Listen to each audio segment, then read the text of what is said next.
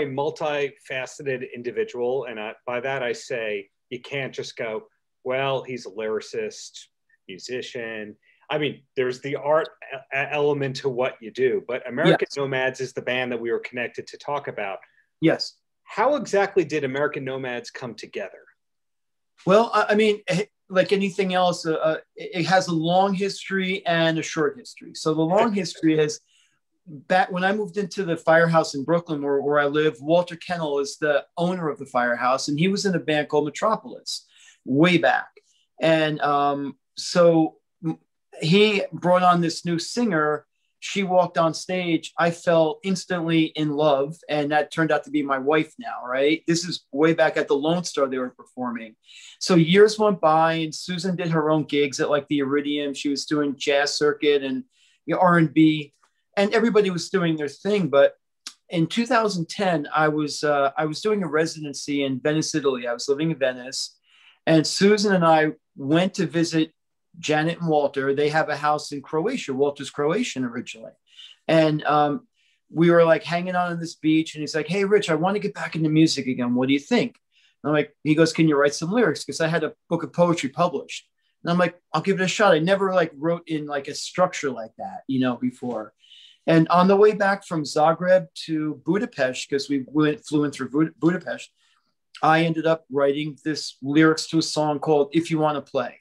Walter put the hook together, I put the lyrics together, and that was it. And then it just started. Dante DeLamos came on board, and we started like working under like a couple bands like DRW and just putting some things out there. And then we did a Revelation is going to come in, I think it was like 2015 and Joe Vulpis, uh, who's been a longtime friend of mine, he worked with Lady Gaga, mm-hmm. a number of very big people. And he's he produced it. And Joe said, Hey, you know, you guys should really form a band to really to support this. And that's how it happened. And then we ended up putting this rather large eight-piece band together, you know.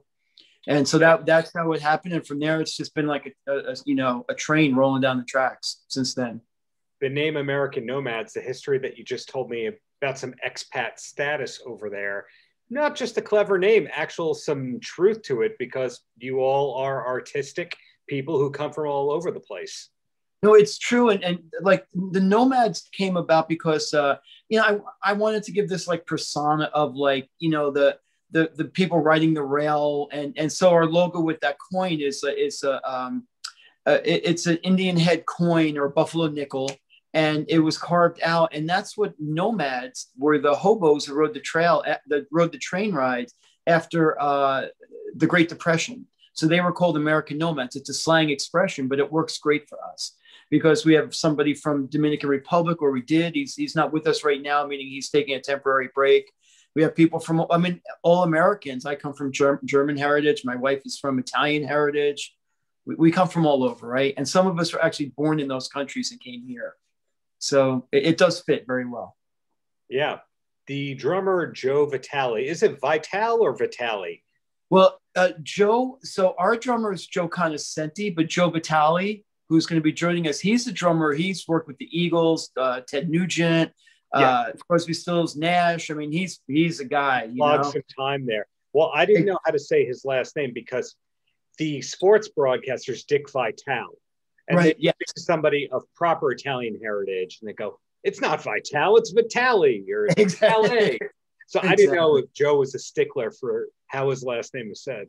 I, I, I don't know, but we, we say Joe Vitale, and, and, Joe was introduced to us by Ken Franklin, our, our media agent, and uh, we I mean we love the guy, nicest guy in the world, and not only that, super super talented, has all this history behind him.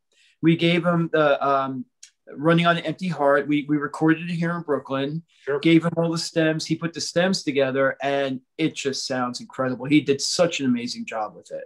So we're sticking with him. He's going to produce our next single, and hopefully the next, and the next after that. It's amazing that somebody like him has kept up with technology and trends all these years later, because a lot of his peers, they kind of didn't learn the digital way of doing things, and they look down on it. Not Joe. Well, no, Joe is like all all around guy because he knows the digital stuff. He mastered everything as well. But he took our digital stems and he actually put it on an analog system to match the sound of what American Nomads is, which is like this Americana, American root sure. sound. So that fit that sound for us. But Joe can do anything. I mean, it was totally electronic, and then he just brought it down to analog after that. That is smarter. That that's above my pay grade to say the least. Mine but, too. but in the case of your band, some people kind of shied away from putting out any new content during the pandemic, even if it was made before the pandemic. Not you guys. You put out a video that I, I saw for the first time about a month ago. Yes. You got the new music. Do you know anything that is concrete for 2021 and 2022 at all? Nothing. no concrete at all. I mean, you know, we were discussing there's going to be this big uh, music exhibition or music performance, I guess, in, in Ghana Mm-hmm. And we were kind of asked to, to do like a pre, it's going to be in 2022. We've been asked to do that. It's going to have some big names. It's kind of like a live aid situation. Mm-hmm. And we may, they asked us to maybe do a preview. So we're thinking of recording that at Drum, which is one of our local places we play at a lot here. Yeah. Doing like a big recording there and then using that as like a, a live feed over there during, I think it's May 25th in Ghana. Other than that, man, we're just, you know, hanging fire on it we, we don't stop creating. It's a prolific band. So we're constantly writing. Right now, we have literally about 22 songs in the hopper wow. that are in various stages of new recording, completely recorded, finished, uh, mixed, unmixed. And that's been going on for like a year and a half. So we were about to release some new songs before the pandemic and just sat on it for a little bit. But we get together every week, um, rehearsal, writing every single day. It's a huge team eight eight member band and probably 15 16 people that for everything from social media to you know promotion to you name it it's a it's a big operation here. Before i ask my first official question as they say off the record you mentioned uh, having ties to woodstock and you guys were part of that great festival that anniversary festival. Were you the catalyst to making that one happen? Me personally? Yeah. Uh, it came from a couple different directions. Ken franklin actually was childhood friends. Ken is the media agent once again uh, and a good friend of the band. I mean like family. Uh, he had a friend who was a, a, childhood friend that was up at bethel woods mm-hmm. and he um, he gave them our information but walter has a place near bethel woods like a, a, a weekend house. So he knew that guy also. So we ended up playing at a small place up there called Dancing Cat Saloon or something. And it's just like, you know, it's like distillery, you know, big crowd, but still it wasn't like Bethel Woods, right? Right. And the people from Bethel came over, saw us, and booked us. So it, it came from like a multitude of sources how that happened. Cool. Well, the Woodstock scene truly intrigues me. And I say that because it's got all these people that are super famous and super respected, but it all seems to be this word of mouth thing that I know, for example, Levon Helm was having all these off the radar kind of concerts in a barn that were going on. Yeah, yeah, it's uh, his place is incredible. Midnight Ramble was up there for years. It's still it's still there. The Midnight Ramble. Amy runs it, his daughter. But yeah, when you talk, so I bought in '95, right? So I bought from a guy that was on the television show Cheers. Okay. So I, so everybody's kind of hidden away in the woods. He, he played Eddie LeBec, the hockey player, uh, Jay Thomas, right? Okay. And and and he was good friends with Robin Williams, who happened to be living next door, literally at that time. Robin and, Williams is a Woodstock guy. No, no, I think he was probably just getting away. He's a San Francisco guy. He was, yeah. uh, but he, I think he was just getting away, right? Yeah. So I think he was good friends with Jay, and um, so I mean, down the street from us, Brad Pitt owned the place down the street. You've got musicians like uh, uh, from Steely Dan, the piano, the lead singer from Steely Dan. Is, I'm just drawing a blank on his name right now. Not Fagen uh, or Becker. Not Donald Fagen. Oh, Donald Fagen. Wow. Yeah. Okay. So then you had the whole band. Susan was doing uh, a single uh, years ago, and and Garth Hudson played accordion on her single from the band. So you have the band. I, I don't know if it's Satriani or uh, Metheny has a place up there. I mean, you name it Uma Thurman is up there, you name it. And then, of course, for years and years and years, Rundgren had Utopia Studios. Yes. So you'd go into town, you'd see Todd Rundgren all the time up there, but you'd go into town and anybody he was working with would be usually playing at the local bar. XTC, Matchbox 20, Joan Osborne. These are people just going up to the local bar and like hashing out material in front of everybody. I've seen everybody. Also, Tony Levin lives up there from Peter Gabriel's band, and also Jerry Marotta has Dreamland Studio. Marotta's a guy up there also, and yeah. he was with he was with Gabriel too. I know Rachel Yamagata, and she has a place up there. Tracy Bonham is seen all around the place. Crazy. Dorsey from Bowie's band. So what I'm getting at is you, besides the band as a whole, you sound like you're always surrounded by artists as well from different media. Yeah, and I and I from all different media, and I travel a lot too. So I mean, I literally, like I mentioned, I, I've lived in Korea, I've lived in Venice, Italy. I was in Pakistan last year. I was up in Islamabad. So in my whole life really is about that. I mean, COVID put a stop on all that, right? Yeah. Right now. But we're, you know, the firehouse we live in here, Walter's Firehouse is it's like that though. It's kind of like living, I guess. I'm not a deadhead. My brother is, who's in the band, but but uh, it's kind of like the dead house, I guess, because nobody locks their doors. Every night we go next door. I, I mean, I don't drink, but we go next door and have a drink or have dinner together it's a big open artistic environment here and woodstock is the same for us. Although woodstock honestly we're kind of uh, i think most people who go to woodstock kind of lay really low. Like i build my stone wall. Like i i live very publicly in new york and privately in woodstock. I build my stone wall or i cut my lawn and chop wood up there. That's you know that's what we do mostly and most of the people we mentioned do the same. If, if you want to see Uma Thurman, you got to catch her like nine in the morning at Bread Alone for a cup of coffee because after like 9:30, everybody goes back to their houses and their property and kind of hides out to the you know for the day, and then gathers again at night again.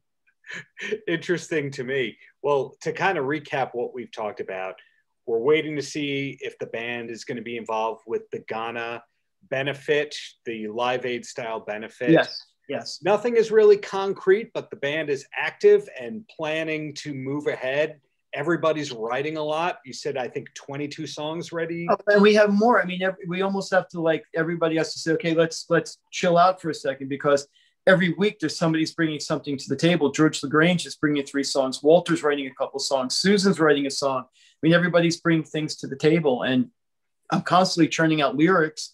But I'm not the only lyricist, of course. I mean, Walter puts lyrics in, and George does as well. I do the majority of them, but they also start their own songs.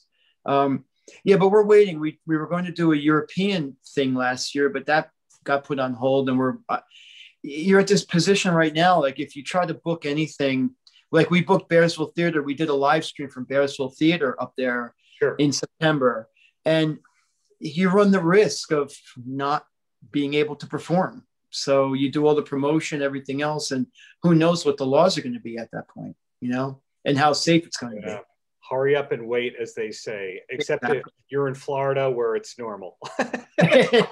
exactly. Well, Florida is never normal. Nothing against our Florida fans, but you know. Exactly. Well, my last question for you has nothing to do with the band, it's about you. And that's what TV show can you recommend to people who need a new show to start? That is wow. Okay. Um, so let me tell you what we're watching now. Susan and I are watching uh, Transparent, which is not new, right? But it, we're just getting to it for the first time. Within the and, decade, that's you know new in the scheme of the world being thousands of years old. Sure, exactly, exactly. Yeah. And it's shot really, really, really, really well. It's like yeah. watching a movie every, you know. But we burn through things because you know we don't. So we live in that New York lifestyle, right? We basically eat dinner at midnight every night. Susan's like three hours if she works out every day for an hour and a half. She rehearses hour and a half. I work till 10 in the studio. So at 12 o'clock at night, we sit down to dinner and put on something, but you burn through things fast. So we're, we're just, we're in like the third or fourth season right now of Transparent, and it's highly recommended. It's very intense and very, very good. An award winning show that deserves it. How often yeah. do you hear that? Exactly, exactly. And also reruns of MASH. You could re- go back to reruns of MASH always. Well, actually, but random question here. One thing I was trying to figure out is it that the American version of MASH had no laugh track, but the British version had the laugh track, or is it vice versa?